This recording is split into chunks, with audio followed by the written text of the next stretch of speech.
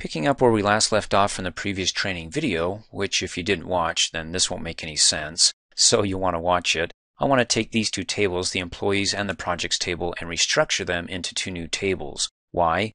So it complies with the third junction table here, because these two tables have duplicate fields. Remember, the employee ID is duplicated. Why? Because you can have the same employee working on different projects. And in the projects table, it's duplicated here because you can have different employees working on the same project. And so that's why we created the assignments table where we can have duplicates here that, well, in this primary key, remember, right click, go to the design view, that in that primary key field we can have duplicates, and that one we can have duplicates. But you could say, wait a minute, I thought you can't have duplicates in primary key fields. Yes, just in a single field, but if you have two or more fields assigned a primary key, it converts that into a composite key where the combination between the two fields cannot be duplicated. So when I right click and go to the datasheet view, duplicates, duplicates, but I can't have the same record listed twice. So 12, 800, 12, 800, that would be a violation of the two primary key fields or the composite. So I can have the employee ID listed many times, but only once for one project, and vice versa. I can have the project number listed many times, but for this project, that employee only once. So when it comes to restructuring these tables, I'll basically just copy these two tables, the employees and the projects table. And what do I want to copy? Just the structure. I don't want to copy or include the data because remember the data is in violation of the primary key. So after I copy the structure of these tables and set up the primary key field, like for the employee ID and the employees table and the project ID and the project table, then I'll create a query to copy over those records into the two new tables, these temporary tables, as it were. But when it copies and wants to paste them over into it, it'll look at those primary key fields and say, oh, wait a second, I can't copy over any duplicates because it's preventing me. So instead, I'll append all of them except just those ones that would be duplicating. So it just brings over one and keeps the duplicates away and doesn't bring them in. So to go ahead and restructure this, we want to copy these tables and just have the structure of it and then we'll go ahead and use the queries. So let's do the employees, right click on the employees. Let's copy that, right click over here anywhere and paste it. And it's going to be TBL temporary table employees. And you got three options. The structure, where it just copies the fields over, the name of the fields and the data type, but no data. Then you got the structure and the data, and then append data to existing table. If you select that option here, you would type in the name of an existing table you'd like to paste or append the data that you copied from the other table. We're not going to do that. We're just going to do structure. Click Okie dokie. And there it is. Double click. It's got no data. And what we want to do is we want to assign the employee ID the primary key field. So let's right click, go to the design view, come up here, assign it there.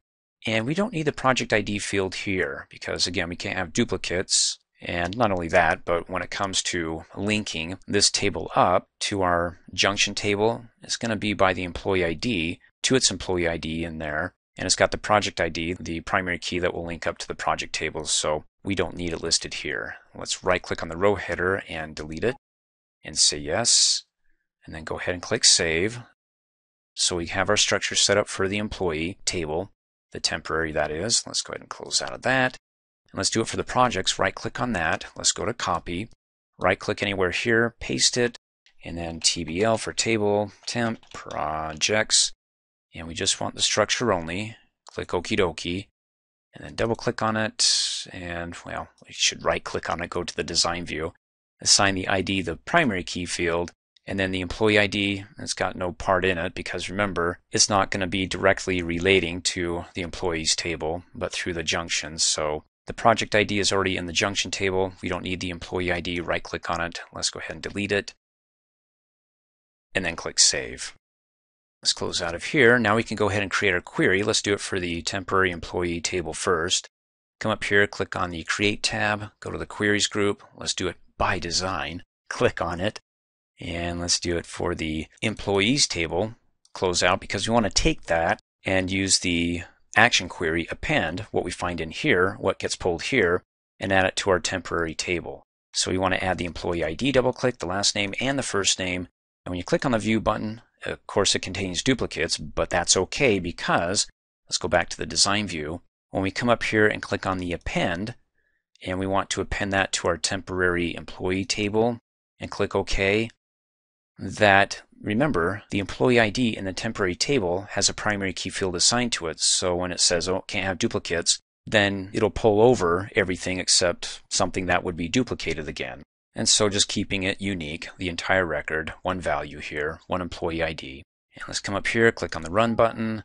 You're about to append 25 rows. You okay? Yes. It says Microsoft can't append all the records. Why? Because there's duplicates. That would be a violation because you have a primary key assigned to the employee ID in the temporary table.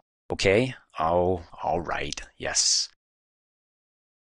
Let's open up the temporary employee table. Do I see any duplicates? 12, 13, 14, 15, 16. No, hey, it's working. It's working. Let's go ahead and close out of that.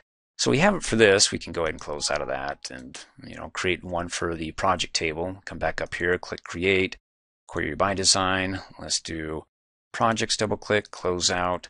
And we want to do the project ID and project name. And then come up here, click on the append button, and we want to append it to our temporary project table. And click OK. And it's mapping them, project ID to project ID and the project name to project name. I mean, that's just so clean and easy. So keep the names the same is what I recommend. And then come up here and click on Run. You're about to add 21. Yes. Hey, we got violations because the primary key in the temporary project table does not allow duplicates. OK, click yes. Then we open it up. Are there any duplicates here? No. Oh, that's looking good. Almost done. Let's go ahead and close out of here. In fact, let's just close out of everything. So we've got the temporary tables that now are built correctly or structured correctly to be able to join up with the join table. So what we need to do is, yes, get rid of our old tables here and just delete them.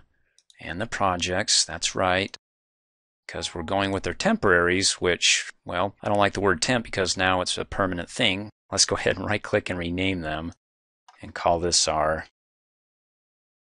See how we're doing that? It's all magic.